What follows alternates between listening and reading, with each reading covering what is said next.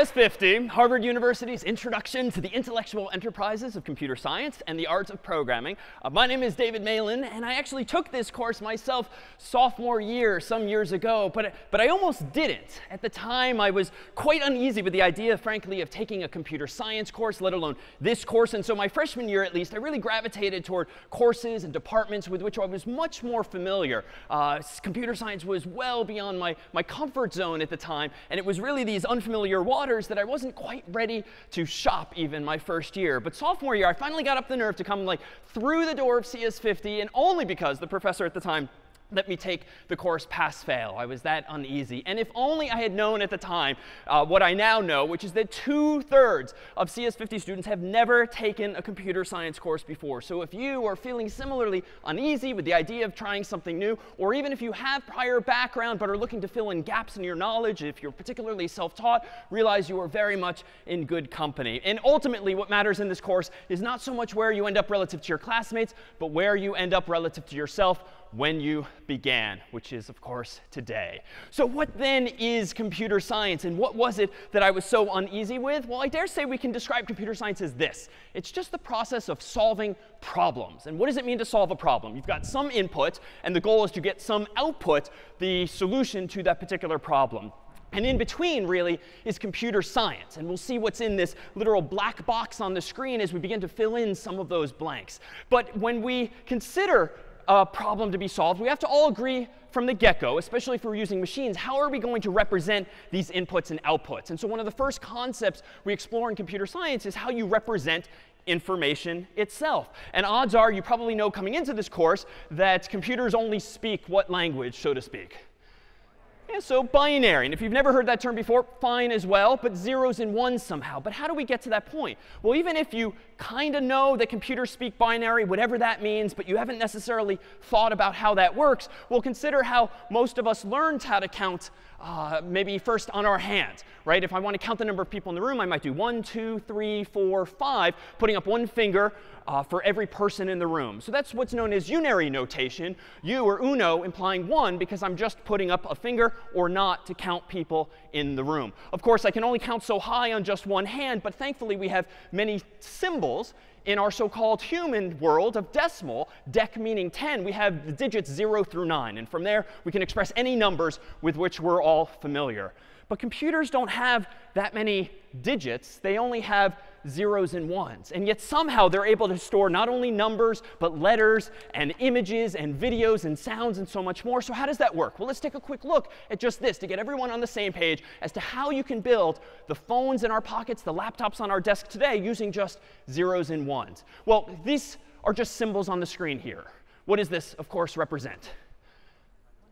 123, but why? I mean, these literally are just symbols or glyphs on the screen, sort of strokes of a pen that we all ascribe meaning to. We just see this as 123, but why is that? Well, if you're like me, you probably learned way back when to think of the rightmost digit as being in the ones place or the ones column, the middle digit as being in the tens place, and the leftmost digit as being in the hundreds place. So how do we get from this pattern of 1, 2, 3 to the number 123? Well, it's some quick mental math that we all just do instinctively. It's 100 times 1 plus uh, 2 times, uh, 10 times 2 plus 1 times 3. That, of course, gives us 100 plus 20 plus 3, or 123. So all of us just kind of take that process for granted now, but it turns out that there's a system at play here. Uh, a system such that we can figure out any number in the same way. So if we've got our ones place, tens place, and hundreds place, of course, in the decimal world, this is the number 1, this is the number 2, 3, 4, 5, 6, 7, 8, 9. Something interesting happens, of course, after 9. You sort of carry the 1. And why then does 0, 1, 0, or if we ignore the leading zeros as being insignificant, why does 1, 0 represent the number we all know, obviously, as 10? Well, it's just because it's 10 times 1 plus 1 times 0. So that's the system we've been using for years. And it turns out that these columns, realize, are just powers of 10. So 10 to the 0 is 1, 10 to the 1 is 10, and 10 to the 2 is 100. That's how we got ones, tens, and hundreds place. Now, in the computer world, you don't have 10 digits, 0 through 9. You have just two digits, 0 and 1.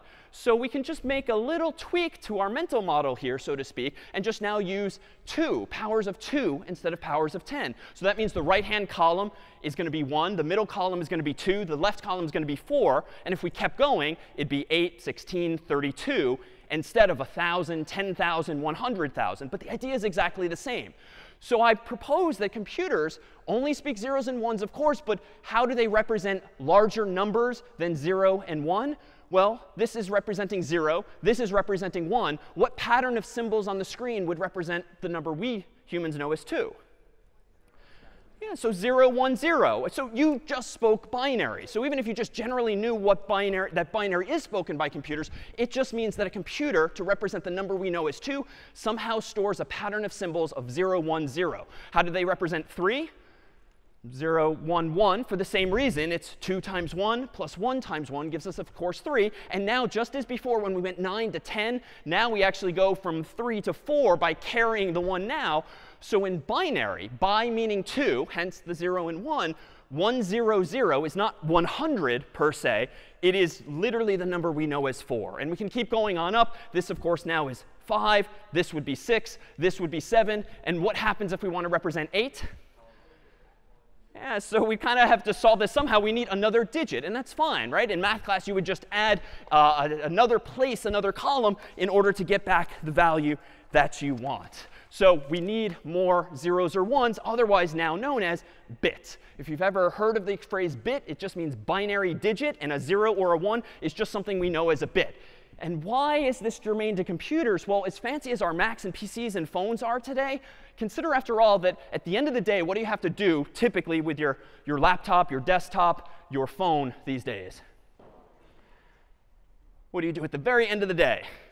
Yeah, so you charge it, right? You plug it into some physical resource. That is the only physical resource into these computers that we use today. And that's kind of nice because, of course, the cord can either be plugged in or not plugged in, or maybe we could call that a 1 or a 0, true or false, on or off, which is to say if electricity is our only input and there's either yes electricity or no electricity, well, that actually maps quite nicely to the idea of binary because we need just two symbols, 0 and 1, off and on, to represent that idea. Of course, with a single bit, you can't do all that much. You can only count from 0 to 1, and that's it. So computers tend to use larger numbers of bits to represent information, and they do this ultimately physically. So it turns out that with both a plug in the wall or even a light bulb or a switch thereof, you can represent a 0 or 1. But if you want to represent more zeros and ones, well, we just need maybe 8 bits at a time. And if you've ever heard of the expression byte, a byte is just a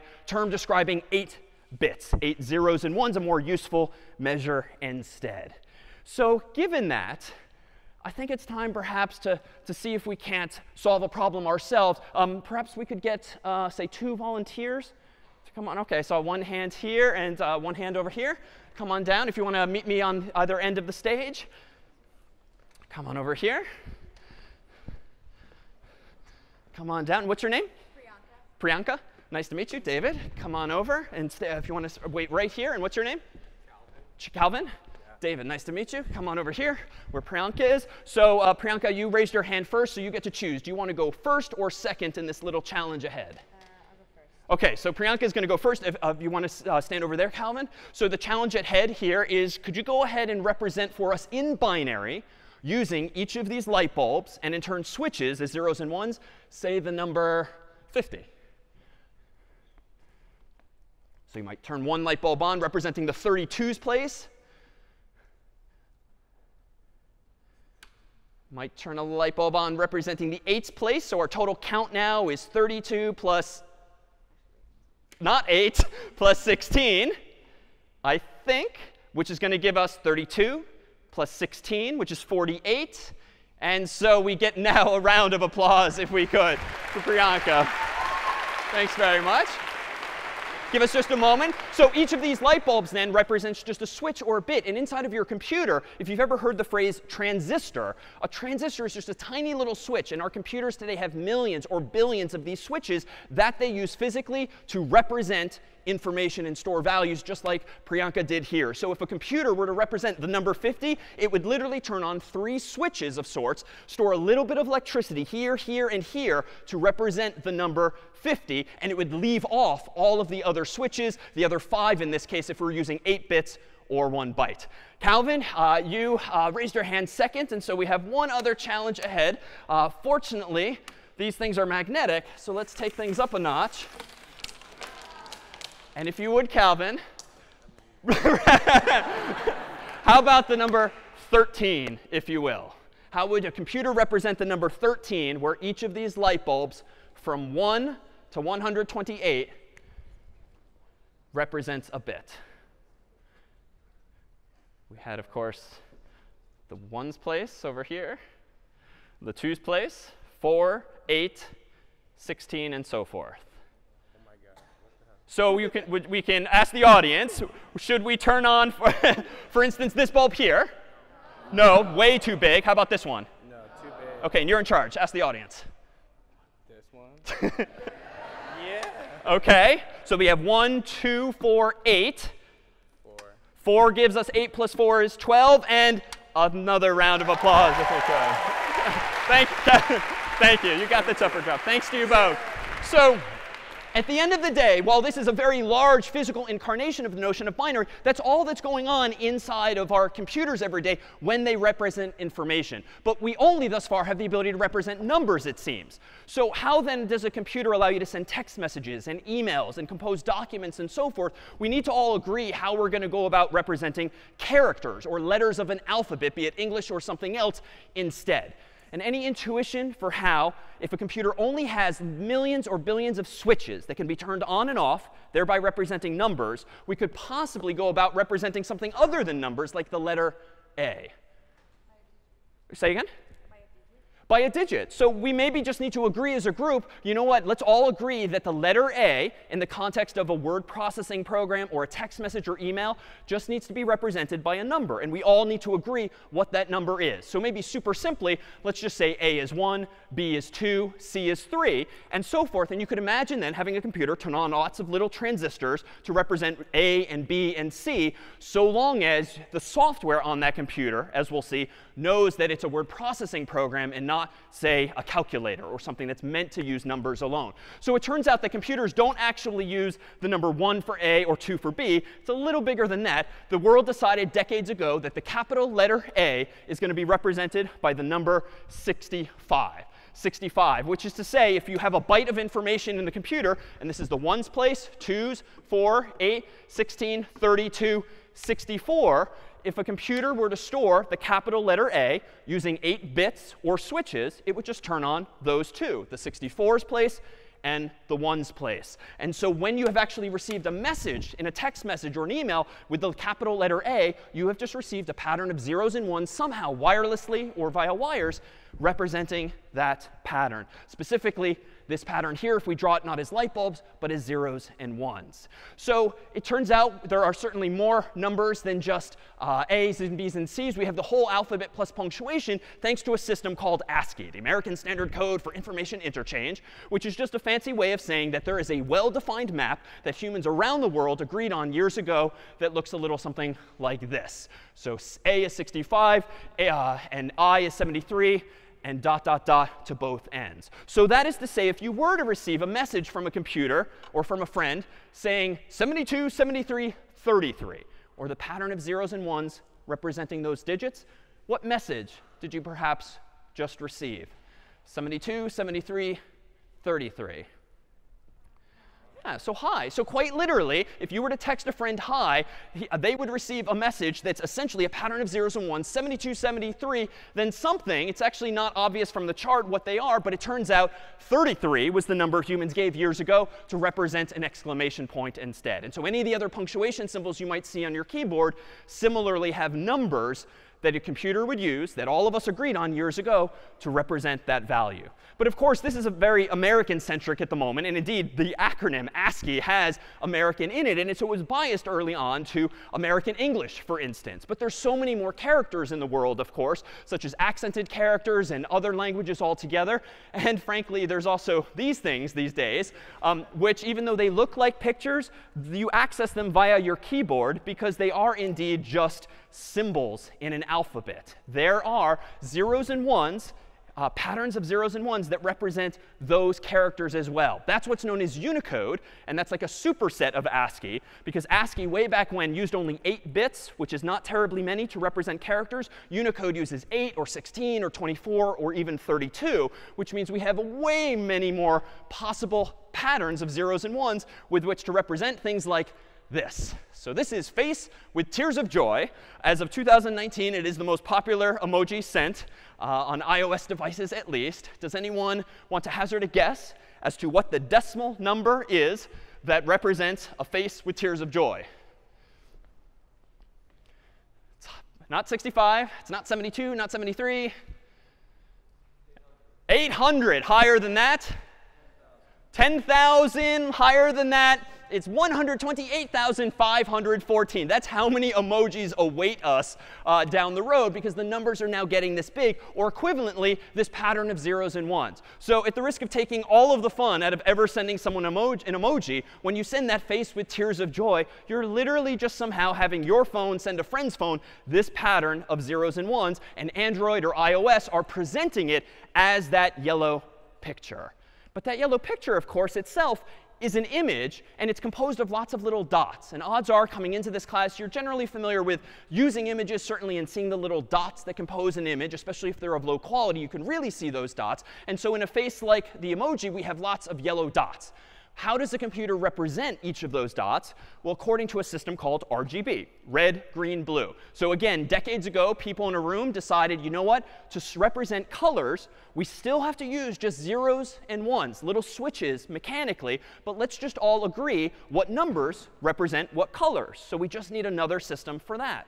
Now, it turns out that RGB essentially composes any color of the rainbow by mixing together some red, some green, some blue. And by combining those colors one on top of the other, you can get any color of the rainbow you want. So this is to say, to store any dot on the screen, one pixel, so to speak, in an image that you might take as a photo or send to a friend, you are actually storing three values. One, two, three. Three numbers, really, that, of course, at the end of the day, are zeros and ones. Those three numbers just tell the computer how much red, how much green, and how much blue to use to represent some dot on a screen. So suppose that, coincidentally, a computer were storing the pattern 72, 73, 33, albeit with zeros and ones or light bulbs, back to back to back like this. Well, in the context of Photoshop or a browser or Apple uh, Photos or the like, in the context of a graphical program, your computer is going to interpret this same pattern of digits and in turn bits, not as high, exclamation point, but as some amount of red, some amount of green, some amount of blue. And it turns out if you combine this much red, 72, this much green, 73, followed by this much blue, uh, 33, what you get when you combine all three of those is that uh, shade of yellow. So for every single dot in that emoji, that face with tears of joy, every dot in this image, and we can see it if we really zoom in, is stored using three values, some amount of red, some amount of green, some amount of blue that we combined give you yellow or black or gray or anything else, depending on how you encode those values. Meanwhile, images or videos, things like this that you might see on the internet these days in the form of memes or anything else, are actually just images, but they're multiple images in the same file. If you've ever seen what's called an animated GIF, which this happens to be, that happens to be looping, all our human eyes are seeing is one image after another, after another, after another, really quickly, creating the illusion, therefore, of movement. But this cat is not actually moving. These are like five or 10 photographs of a cat in different positions just being looped endlessly. And that, too, is all a video is. A video is just a sequence of images flying past your eyes so quickly we humans perceive it as actual movement. And so that's like almost everything we use to represent information today in our computers, right? We have zeros and ones from which we get binary, to which we then get decimal digits, but we can use those digits to represent, say, characters on the screen or colors on the screen, and in turn now even the more interactive.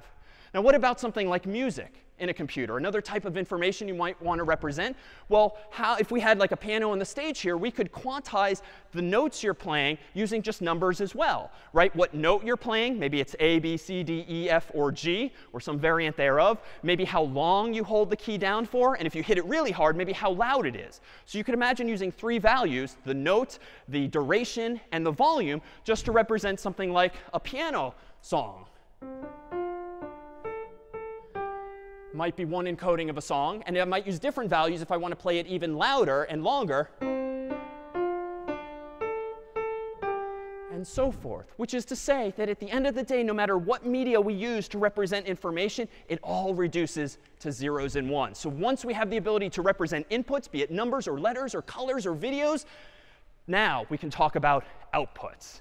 So how do we get from inputs to outputs? That's what's inside this uh, so-called black box. And this is where computer science comes in, an algorithm. Anyone know what this term is? What's an algorithm? You sort of read about it all the time these days, especially in the context of self-driving cars and Siri and Alexa and so forth. Yeah a set way to do something. Yeah, and in the context of problem solving, an algorithm is just step-by-step -step instructions for solving some problem. So what might an algorithm be for a problem that we might want to solve? Well, consider this. This is an old school problem where you might have lots and lots of names and lots and lots of numbers, and those names are hopefully sorted alphabetically from A through Z in a book like this. And even though most of us don't really reach for this technology anymore, consider that it's really the same as your iPhone or Android phone or other device, which has all of your contacts top to bottom, and you can scroll through them from A to Z, or you can search for them by typing into the little autocomplete box. How is even your phone solving this problem? Well, let's consider a simple approach. I'm going to look at the first page and look for someone on the phone book. Suppose that person's name is Mike Smith, last name starting with S. Let me go ahead and look down. He's not here. Let me turn the page. Let me turn the page. Let me turn the page. This is an algorithm. It's a step-by-step -step process for solving a problem, finding Mike Smith. Is this algorithm correct, would you say? Yeah, I mean, it's pretty slow. It's pretty stupid in that it's going to take, my God, forever, like hundreds of page turns to find Mike Smith. But if he's there, I will find him according to this step-by-step -step approach. What if I speed things up a bit just because it's tedious otherwise? So I do 2, 4, 6, 8, 10, 12, 14, 16, and so forth. Is that algorithm faster? Absolutely, literally twice as fast. Is it correct? No, why? Yeah, we might skip them. I might get unlucky, and eventually I might get to like the S's, but darn it if Mike wasn't uh, in between two pages as I turn them at once. So it's not a fatal flaw. That algorithm I could fix by just saying, ah, if you hit the T section or maybe SN instead of SM, just back up one or so pages just to fix that, that bug or mistake, so to speak. But it, it at least is twice as fast. But if this phone book has like a thousand something pages, it's still going to take me maybe like 500 pairwise turns just to find Mike Smith. That's a while just to look someone up. But most of us, if you've used this technology, instead did what back in the day? You know, go like roughly to the middle, right? If there aren't little uh, letters on the side of which to cheat. So go roughly into the middle. I'm in the M section. Now, the M's, of course, mean that Mike is not this way, which would be the A's. He's probably this way toward the Z's because S, of course, is between the M and the Z. So at this point, I can literally tear the problem in half, throw half of the problem away very dramatically and unnecessarily, making the point that we've now gone from 1,000 some odd pages to what, 500. And I can do it again. Oh, I went a little too far. I'm now in the T section. So I can tear the problem in half again, throw that half away, and now I'm down to from 1,000 to 500 to 250 pages only after just two steps in this step-by-step -step process. And if I repeat this again and again and again, hopefully I'll be left ultimately with, say, just one page on which Mike Smith either is or is not, and I can call him or quit. So that algorithm would get me to the solution so much faster. And we can appreciate this even if we just look at some of the numbers ultimately as follows. So if I start with, say, 1,024 pages, uh, total in the phone book, and I'm looking for Mike Smith, and I divide and conquer this problem, splitting the problem in half and in half and in half, I go to 512, I go to 256, 128, 64, 32, 16, 8, 4, 2, and 1. After just 10 steps, I have found Mike Smith's page. By contrast, that first algorithm, where I just did one page at a time, how many steps maybe might it have taken me to find Mike Smith? Yeah, like 700, 800, roughly where the s's might be. So in the worst case, 1,000 pages if I look through the whole thing. The second algorithm, maybe 500 pages because I'm going twice at a time. But my God, 10 steps with this algorithm here. And odds are that would be the algorithm most of us in this room would reach for by default, which is to say that a lot of problem solving, really, as we'll find, is just about harnessing your existing intuition and comfort with ideas that now you just need to translate in such a way that machines and other humans can understand. So how might we just think about how much better that algorithm is? Well, consider this first line here on this y-axis or vertical axis, let me describe this as the time to solve some problem. And on the horizontal or x-axis, the uh, size of the problem. So the number of pages in the phone book would get bigger as you go to the right. And the number of seconds or page turns required would go up along the y-axis here. So that first algorithm, depicted here in red, suggests like a one-to-one -one relationship between the number of pages in the book and the number of seconds to find someone. So you have this straight line, a slope of 1 over 1, if you will. And so if we consider the second algorithm, the second algorithm is also going to be a straight line, but that straight line is going to be lower on the graph. Why? Because for any size problem, it's going to take me half as much time to search that phone book, because of course I'm going two pages at a time. So if we see this, for instance, if this dashed line represents some number of pages in the phone book, maybe 1024, well, you can see that it might take this many seconds or page turns to actually find Mike Smith with that second algorithm. But in the first algorithm, that same number of pages would take way more time to solve literally twice as much time in this case. Well, what about the third algorithm? Well, even if your memory of what a logarithm is is a little hazy, it just describes a fundamentally different shape. The green line describes that third and final algorithm, whereby you divided the problem not one page at a time or two pages at a time, but 50% again and again and again. You halved it again, again, and again. And notice that as the number of pages in the phone book gets really large, you barely make an impact on how, many, how much time it takes to solve that problem. For instance, if uh, uh, Cambridge and Allston, two towns here in Massachusetts, merge next year and their phone books become one phone book that's twice as big, so not 1,000 pages each, but 2,000 pages total, how many more steps might it take us to find Mike Smith in next year's phone book if it's got 2,000 pages instead of 1,000? Just one more step. But the first two algorithms, that's another 1,000 steps maybe, or another 500. These are fundamentally big differences in efficiency, so to speak. So let's translate this idea, this intuition, into the first example of code. This is pseudocode, and there's no one formal definition of this. Pseudocode is like code-like syntax that you write in English or your own spoken language that represents your ideas, but in a succinct way. And so I might propose that this algorithm for finding Mike Smith might be written in pseudocode, English-like syntax as follows. Step one, pick up phone book, which was indeed the first thing I did. Step two, open to the middle of phone book, which is the next thing I did. Step three might be look at the page, to see if someone's there. And if Smith is on that page, what do I want to do? Well, my code's going to look a little different now, and I'm going to deliberately indent to make clear that there's a dependency of some sort. I'm going to go ahead in step 5 and call Mike only if line 4 is true, that he's on the page. Else, if Smith is earlier in the book, to the left, so to speak, I'm going to go ahead and open to the middle of the left half of the book. And then what am I probably going to want to do next?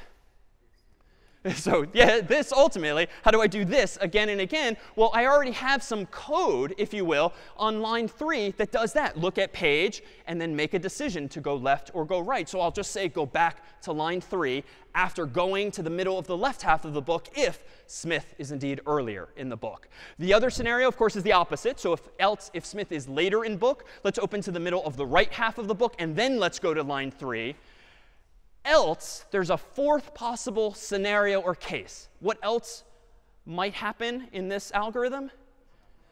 He's not there. And so I probably want to anticipate that and just say quit. If indeed he's not on the page, to the left of the page, or to the right of the page. So there is one way of expressing this pseudocode, albeit now in just this English-like syntax. But in this syntax alone, there's some commonalities, some features we're going to see over the next several weeks, not only in pseudocode, but in a language called Scratch, a language called C, a language called Python, and more, there are certain constructs in programming, procedural programming, so to speak, that are going to be common among all of these languages. Highlighted in yellow here are what henceforth today and onward we're just going to call functions. These are verbs or actions that just tell the computer, or in this case the human, what to do. So those are functions. Now highlighted in yellow instead are what we're going to call conditions. These are branches, sort of forks in the road. So you can either do this or you can do that or maybe this other thing as well. But to make those decisions, you have to ask yourself a question. And those questions in computer science are called Boolean expressions, after a mathematician named Boole. And a Boolean expression, highlighted now in yellow, are just questions that have yes or no answers or if you will, true or false answers, or heck, now that we know binary, one or zero answers. So even in code, we see a hint of why ones and zeros are helpful. Lastly, there's this thing here. Go back to line 3. We've used it in two places. That refers to something we'll call a loop. It's a cycle that does something again and again. So beyond those four ideas, functions, conditions, Boolean expressions, and loops, we're about to see a bunch of others as well. Variables, reminiscent of what you might recall from algebra, but more powerful now in this context of programming, something called threads and events. And we're going to do this by way of an actual programming language. But it's not yet going to be this one. Indeed, just a week from now, will you actually understand what this means? Odds are two-thirds of you have no idea what this actually is, and that's OK but it's a program written in a language called C, more on that next time, that quite simply says hello to the world. But we're going to do it today in the context of a graphical language from MIT's Media Lab called Scratch. This is a language via which you can program a computer by dragging and dropping blocks or things that look like puzzle pieces that interlock together so that you can tell the computer exactly what to do step by step. And we'll see in this language today, and for the first problem set or programming assignment, that you can express all of these ideas from pseudocode in an actual language like Scratch. So what lies ahead? Well, at scratch.mit.edu, which I'm about to pull up myself, is going to be where you spend time in the first problem set. And it's going to look quite like this when you open it up. On the left-hand side of this website, this web-based programming environment from MIT, you're going to see on the left-hand side a whole bunch of puzzle pieces, so to speak. And they're categorized according to some different colors there on the left. In the middle, there's just going to be a big white canvas initially onto which you can drag and drop those puzzle pieces and lock them together to make the program do something. What can you make it do? Well, on the top right here is the so-called stage in Scratch. By default, there's only one character or sprite on that stage, Scratch himself, and he can move up, down, left, right, and do any number of other things if you tell him what to do by dragging and dropping those puzzle pieces. If you don't like that cat or you want many others, you can also add multiple sprites or characters by creating them in that area. So let's actually do this now with some sample programs such that we can actually begin programming using this environment. I'm going to go ahead now and open up a browser here.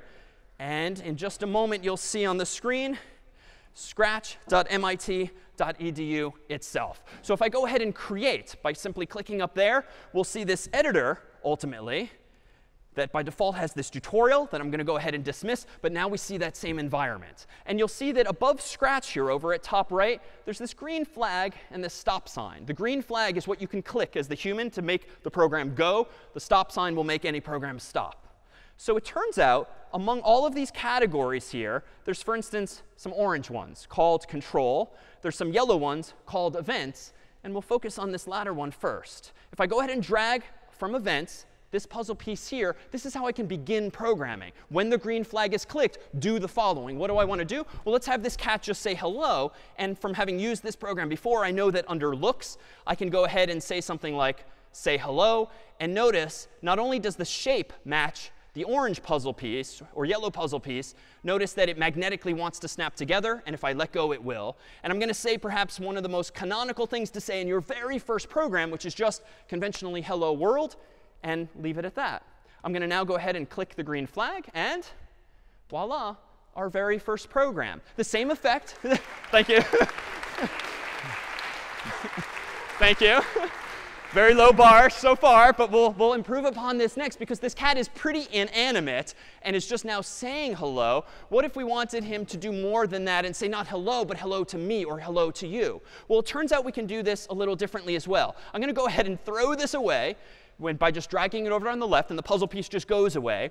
And if I poke around a little further under these blue blocks, for instance, sensing, there's a bunch of puzzle pieces related to Scratch's environment. And one of those is this one here. Ask, what's your name, and wait. But that what's your name expression is in a white box that I can actually change. So you can ask any questions you want. But I'll go ahead and use that default. And now notice also over here in blue is answer which is another circular shape, which represents what we're going to start calling a variable. That variable is going to store whatever the human types in when asked for his or her name. So what do I want to do when I actually get the person's name? Well, let me go back to looks. Let me go ahead and say hello. And I'll go ahead and say uh, hello, and then another one, say hello again. But instead of this, I want it to say my name, but it would be incorrect to just type my name because then my name is always going to be David no matter who plays this game or is asked the question. So I don't want to do that. If I go instead to sensing and then drag and drop this puzzle piece, notice this. It wants to magnetically snap in there and it will grow to fit it.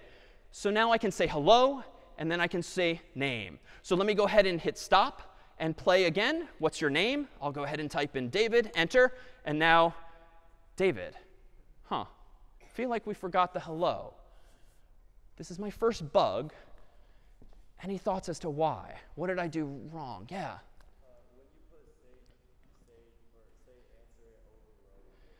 Yeah, I mean, I told the computer via this algorithm to do, two to do three things. Ask what's your name and wait. But then I just say, said hello, say answer in such rapid succession. And my God, our Macs and PCs and phones these days are so fast. They're going to do so many things so quickly that it did say hello, It's just none of us really saw it because my name immediately overrode it. So I can fix this in a couple of ways. Let me go ahead and go back to looks for just a moment, get rid of this puzzle piece, and maybe say hello for two seconds. Then let me go ahead and say my name or the user's name for two seconds as by dragging answer now into here. So that was my first bug in code, so to speak. Let me go ahead and play again. Type in David, and now it's hello, David. All right. So better. It's a little weird because you typically don't greet someone by saying, hello, David, two seconds later. So what if we kind of combine this expressions and say not hello world, but hello comma David?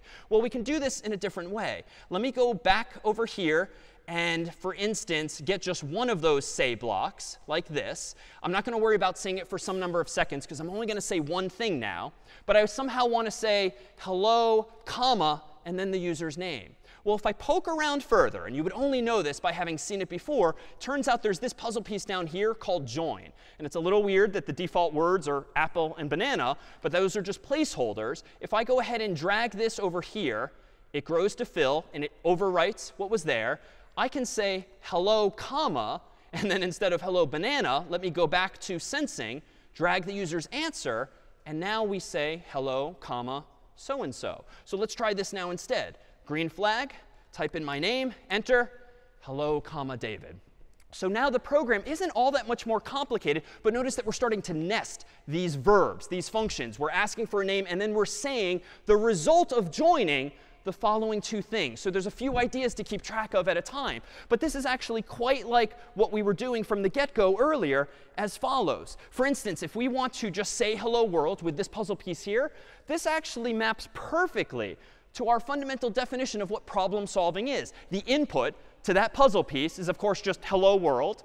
The function or algorithm that you want to execute, step-by-step -step instructions for saying something, Scratch calls say in purple. And the output you want, of course, is Scratch saying hello world. Now, in the more sophisticated example, consider this. We asked, what's your name? And then we waited. Well, that picture would look like this instead. The input to that question is, of course, what's your name? The algorithm, or in this case function, via which we're solving that problem is to ask and wait, taking in that input. And the output we get back is now answer. And then lastly, in that third example, where things got a little fancier and you had to start dragging and dropping and nesting these puzzle pieces, notice that this is the same idea. The input now is two things, hello and answer. Those go into a function called join, the output of which should be hello, comma, David.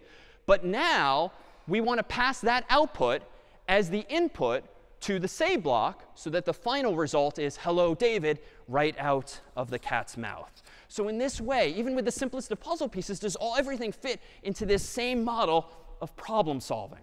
But let's now make things a little more interesting. Rather than just talk in text with this cat, let's go ahead and have it do some other things instead. Let me go ahead under sound, for instance, and it looks like there's a block in pink here called play sound meow until done. And now let me stop the old program and start the new. OK, little piercing, but adorable. And if you want to hear it again, I can click the green flag, and I can click the green flag. Of course, this is a pretty boring uh, cat if it uh, goes lifeless after it said just one meow. How would we get it to perpetuate that sound and just meow every few seconds? What construct or idea might we want to use here? Yeah, so some kind of loop. So it turns out in Scratch, there's a few ways to do this. But if I go down to Control, you'll see a couple of blocks here. Repeat some number of times, by default 10, or forever. I'm going to go ahead and maybe do this forever. and I'm going to drag and drop this now into here. Notice I can move things around wherever I want. And now I can reattach this up here. And now play. it's a very agitated cat at the moment. I can calm him down, perhaps, by dragging and dropping this. And notice, even if there's no room, it will grow to fill. One second. Now it's a, a happier cat, if you will. But now that we have the ability to have the cat do something forever, it doesn't have to just do the same thing again and again. It can interact with me or its environment. So, so instead of playing this sound here, someone following along at home? So instead of playing this sound here, let me go ahead and try this let me go to sensor, uh, sensing and go ahead to which, uh, what might I want to do here? Let's go ahead and, under motion rather, under here, point toward mouse pointer. So point towards mouse pointer, and then go ahead and, you know what, move some number of steps. And I'm going to have it move one step or one dot or pixel at a time. And here now we'll get this effect. It looks as though now he'll kind of follow me, right? And as I move my cursor, he is forever pointing toward the cursor, then moving one step. Of course, he's a little slow, and let me go ahead and stop. If I make him take 10 steps at a time, or 10 dots or pixels on the screen, now it's a little harder to avoid. And you can sort of, he'll literally do as you, as you move your cursor here. All right, so now that we have the ability to do something again and again, let's have something count up. For this one, let me go ahead and uh, grab something from online. So on CS50's website, we'll always make available the examples and source code from each class. And this time, I want to go ahead and get this sheep here. So it turns out you don't have to just use a cat. You can use a sheep if you prefer. And let's see, by looking at this code first, what is this sheep going to do? When the green flag is clicked, there's this orange puzzle piece called set counter to 1. What is that? That's an example of, what might we call this? It's, it's called a variable. Now, in algebra, we typically use like x and y and z for variables. In programming, when you want to store some value in a placeholder, like a variable, you typically give it more descriptive words because x, y, and z don't really tell the programmer or someone reading it what it's doing. So we call this variable counter, and we set it equal to 1. Now, forever, the sheep is going to do what? It's going to say the counter for one second. It's going to then wait for one second, and then it's going to change or add 1 to the counter as its final step. So here we have, if you will, counting sheep, whereby it will now just perpetually count up from 1 to 2 to 3, and probably, if we let this thing go, to up to infinity. So once we have the ability now to do variables, what if we start to make our programs more interactive and start to remember information? Let me go ahead and into uh, our examples from before and grab another example here now instead. I'm going to go back to what's called a studio in Scratch, where all of these examples the, uh, currently are. And I'm going to go and open up an example called pet zero. Computer scientists typically start counting from zero, because that's symbolic of like all of the light bulbs being off. And so here's a program now that if I hit play, does not seem to do anything at, one, at first. But notice as I move my cursor over, I'm kind of petting the cat now, if you will. So how is this working? Well, he too is just forever listening or waiting for something to happen. He's, it's forever doing this. If touching mouse pointer, then play sound meow until done. So now the cat is being responsive to the user input, not following my cursor, but responding just if I'm actually hovering over him. We can, of course, uh, change this up a little bit in version 2 of this, otherwise known as pet 1, because we started counting at 0. Uh, what should I not do with this program?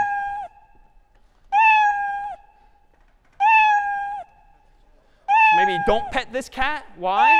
Well, this time it is forever checking if I'm touching the mouse pointer. And if so, it's going to apparently play a sound roar. Else, it plays the sound, sound meow, which seems to be happening.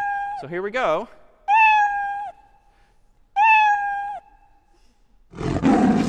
So don't pet the cat. And so that's just a condition asking a question, a so-called Boolean expression, if touching mouse pointer. Well, now let's do something a little fancier still. Let me go ahead here and do this. Let me go ahead and make this one from scratch, uh, no pun intended. And I'm going to go ahead and uh, start with an event. When the green flag is clicked, let me go ahead and grab some motion here. Uh, let me go ahead and grab set rotation style to left right, just because this will make sure that he ultimately does as we intend. I'm going to go to control.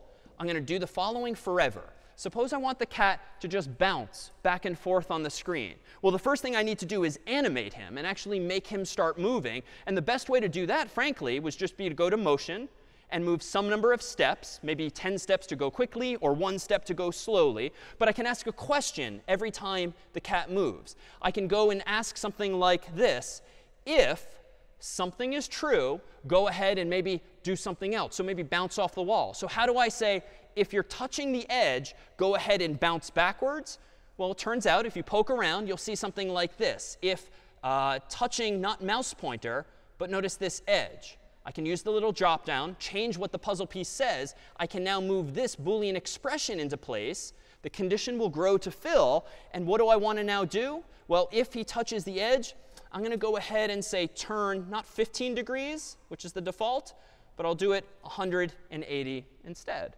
And now we have our own little animation where he's going back and forth and back and forth. Of course, this seems a little unrealistic that he's just bouncing uh, happily so. So there's a non-academic feature we can now introduce. For instance, you can turn on your computer's microphone and say, ouch. That is what ouch looks like. If I go ahead and save this, call this ouch, go back now to my code, let's go ahead and into sound here and maybe play not the sound meow, but maybe the sound ouch, such that now this cat, ouch, ouch, ouch. OK, so maybe ouch. A, a little more dynamic, but it turns out he's really not walking or running. He's really just ouch. sliding across the screen, right? His legs are never actually moving. Now, why is that? Well, it turns out that the costume that this sprite is wearing, that the cat is, is just a picture. It's an image composed of lots of little dots. And you know what? To animate a character and bring some life to it, so to speak, all we really need is at least one more picture. Right? After all, that's all an animated GIF or a video is, multiple pictures. So here's one, here's two. Here's one, here's two. And even though he's definitely making some leaps with each stride, if you do this fast enough, it would seem that the cat is actually making some motion and walking instead of just sliding. So how might I go ahead and do this? Let me go ahead and open up this example, which I've made in advance. This one's called Bounce 1. And in Bounce 1 here, I have the following second costume. If I go ahead and click See Inside and click Play Now, you'll notice now he's kind of moving right? It's a little jaggy because he's moving from one position to another really quickly, but now it's the uh, illusion of movement. So if you've ever played a game or you've ever created some animation yourself or even a film, this really is what's been happening underneath the hood all this time. But you don't have to have just one cat or one sprite in a program. We can actually have multiple. Let me go ahead and open up another uh, animal here, this one a sea lion. So in this sea lion here, if I see inside and see its code, there's a lot going on here. So let's see what this thing does first. If I go ahead and click the green flag, it's really, really annoying. Now, why is that? There's some loop in here, clearly, that's just doing the same thing again and again and again. How might, based on this code, I stop this sea lion from barking? Yeah, so that's the solution. Let's go ahead and hit the space bar. Why did that actually get him to stop barking? Well, notice this. There's two scripts in this, this program, which is a little different from before. Each of these represents a script or a program. Notice here there's a variable called muted, and by default it's false. That is off. So muted is false or off, which means it's not muted, which is why we hear it. Then it does forever the following. If the key, is uh, key space is pressed, go ahead and check the following question. If muted is true, change muted to false else change muted to true. So this is a very common approach in programming where if you have a variable like something called muted that's either true or false, 1 or 0, on or off, you can change its value by just asking that question. If muted is true, change it to false, else set it to true. Meanwhile, if we scroll up, there's another script here that was doing something again and again. And I'll zoom in on this one. When the green flag was clicked, the sea lion was also forever doing this. If muted is false, that is, if it's not muted, go ahead and play the sound sea lion and go ahead and say hi, hi, hi for two seconds, and then wait for one second and do that again and again and again. So in programming, as in Scratch here, you can do multiple things at a time sometimes with languages such that they're both running together in parallel, if you will, or looping again, and they can somehow intercommunicate by using something like a variable. Let's look at one final example involving two different sprites. This one, an old school game that you might recall growing up called Marco Polo. In this game of Marco Polo, uh, one person yells out Marco, and one or more other people yell out Polo. And the first of them is uh, typically blindfolded, so you're trying to find that person based only on his or her voice is response. So in this program here, if I go ahead and click the green flag, notice that nothing happens yet until I hit the space bar. And we'll see that the orange puppet says Marco, and the blue puppet says Polo. But how does that work? Well, here is the code for the orange puppet. Forever, he is doing the following. If the keyboard, uh, if the key space is pressed, that is the space bar, say Marco for two seconds, but then one other feature, and this is new. It broadcasts what's called an event. So it turns out that computers can't just see what another program or sprite is doing, but they can listen for something called an event. It's sort of a secret message from one program to another. So broadcast event is this other puzzle piece that can just say event. And now notice, if I click not on the orange puppet down here, but on the blue, the blue puppet has even less code, but it is not waiting for the green flag to be clicked. Instead, it is waiting until it receives this so-called an event, a sort of invisible message from one sprite to another. And once he receives that event, it says hello, sorry, it says polo for two seconds. All right, so along the way, it turns out that there are better ways to do solve some of these problems, and we can actually start to think now a little more in terms of design, the design of the quality of your code. I'm going to go ahead and do this. Under control, I'm going to go ahead, uh, under events, I'm going to go ahead and grab when green flag is clicked, and I'm going to go ahead and say something this time, like let's go ahead and say cough for two second, uh, for one second, like this. And then let me go ahead and wait for some number of seconds, like one, and then you know what? Let me go ahead and cough three times. It's not uncommon when you're coughing in the real world to cough three times. So I'm going to right click or control click. I'm going to go ahead and duplicate and just attach another one of those. And I'm going to right click or duplicate and give me one of these. And now, of course, the cat is going to cough, cough, cough or meow, and three times in a row. Now, this code is correct. It does cough three times, and it waits one second after each. But it's not very good code. It's not well designed as a computer scientist would say. What could we do better with this code based on the ideas we've seen thus far? Yeah, so we can loop instead, right? And copy paste is rarely the solution when programming, be it in Scratch or in C or in Python or other languages. So I'm actually going to throw all of this away. Let me go ahead and just grab a repeat block, change that default 10 to 3. Let me grab these pairs of blocks and put them in here, drag and drop this up here. So now I'm going to go ahead and repeat three times, say cough for a second, and then wait one second. And now the program is just better designed. It is no different from before, but it's a little easier to maintain now for me or someone else because if I want to change how long something's happening or what's being said, I can change it now in one place instead of multiple. But there's this other idea in computer science, this notion of abstraction. Right? right now, this is a program that just so happens to implement the notion of coughing. But what if I want to use this same, puzzle, this same idea in multiple programs? And I want to give myself a custom puzzle piece that does not come from with Scratch, called cough. Well, there's this one other feature up here I can do, like my blocks. And I can make a block, and I'm going to go ahead and call this cough. And that um, puzzle piece, once I click OK, is going to give me this pink block here. I'm going to go ahead now, for instance, and move all of this down to the custom puzzle piece. And now notice, because I've made a new block, I have this pink piece here. I can now move this over here. And frankly, out of sight, out of mind, I can literally ignore that puzzle, uh, those puzzle pieces I created because now I have a new puzzle piece just called cough that says what it does. This is an abstraction in the sense that I don't care how you implement coughing, I just care that your program can cough.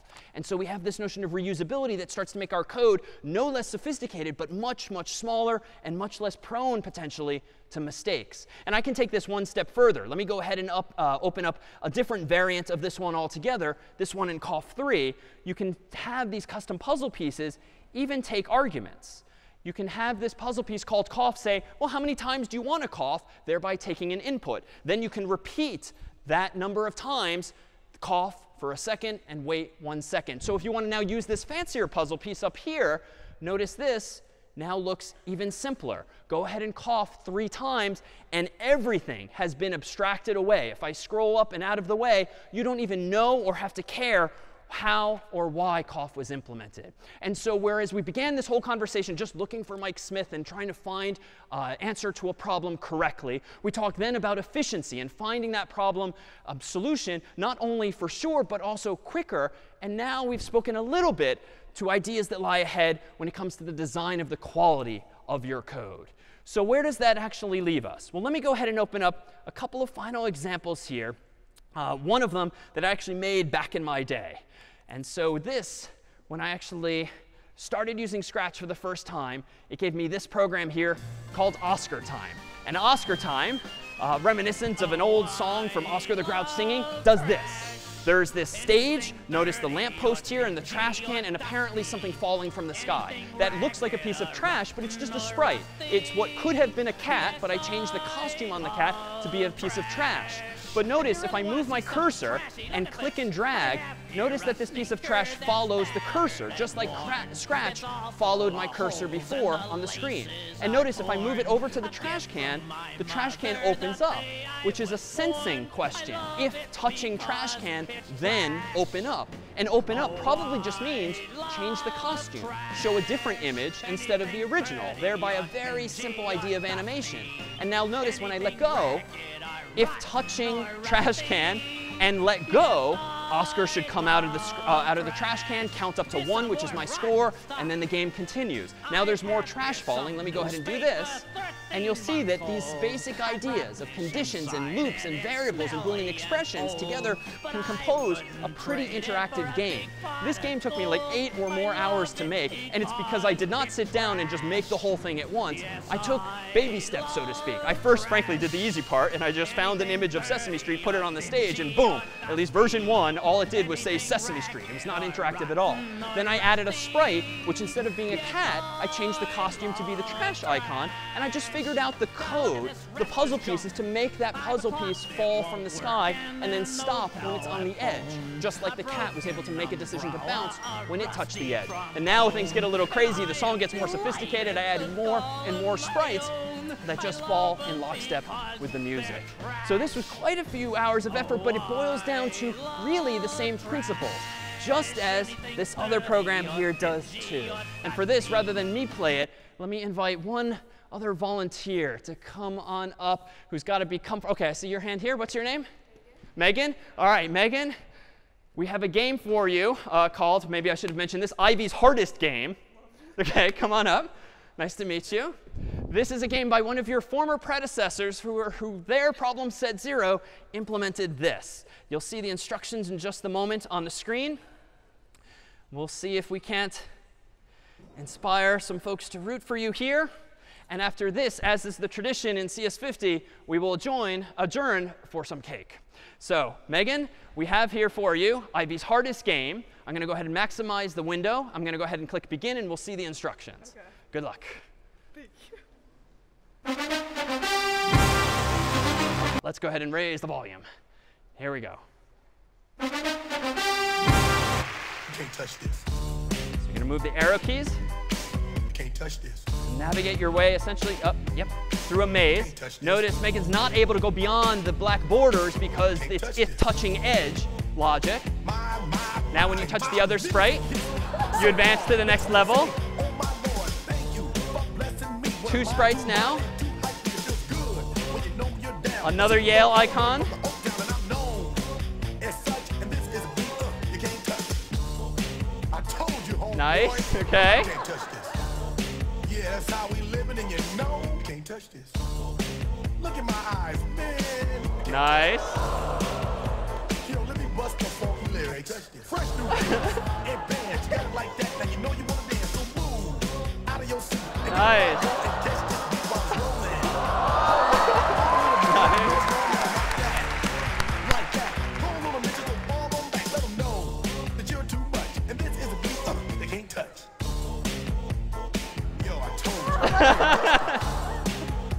Why you standing there, man? You can't touch this. Yo, sound the bell. School is in, sucker. You can't touch this. Give me a song or rhythm, making them sweat. Good. What I'm giving them now. They Nice. know. You talk about the hammer, you're talking about a show that's hype.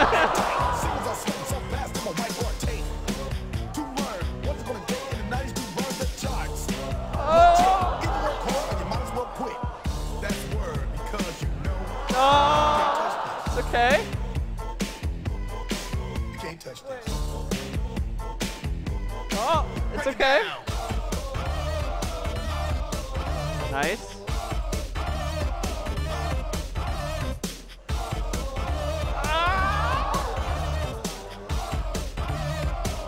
Stop. Hammer time. Go with the flow. Two keys that And wants to go down diagonal. Move the list, you're probably all dancing. Uh, Yo, hands in the couple more lives. Run your fingers through your hair. Nice. Oh.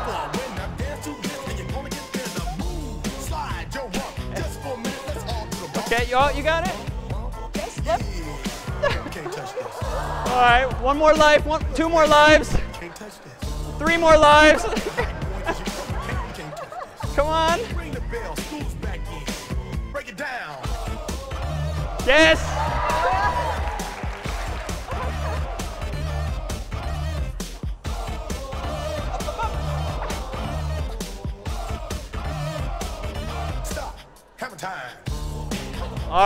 Life, last life, go, go.